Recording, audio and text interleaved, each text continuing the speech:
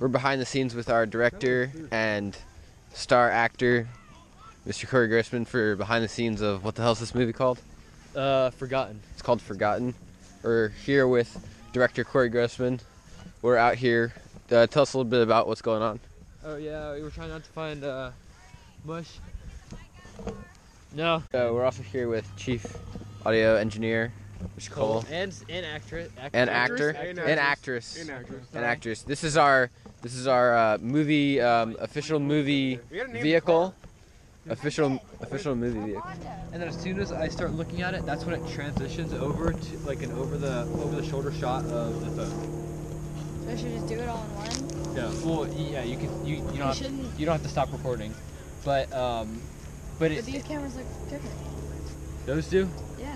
Um, the the shots that I use, it, I can always color correct it, so it's not that big of a deal. Okay. We just finished. I have pit sweat. That's how hard we're working. You pit sweat? It's cold outside. I don't know why. It's a that's a guy thing. Arriving here on scene for some more filming.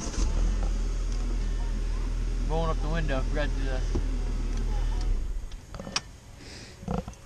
Think I turned off the car. I hope so. This is a bad park job, but it's alright. Yeah, that's literally awful. Alright, we're gonna close my garage and then. Do you hear this?